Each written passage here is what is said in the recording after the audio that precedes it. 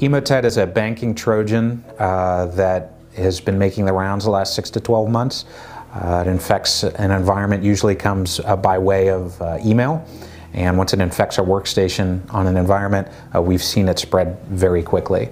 Um, so it's something that can be addressed uh, proactively by having good anti-spam measures in place, anti-phishing, impersonation protection, things of that sort having good firewalls in place, all of that, good antivirus, and uh, preparing your team, informing people uh, what to click on and what not to click on.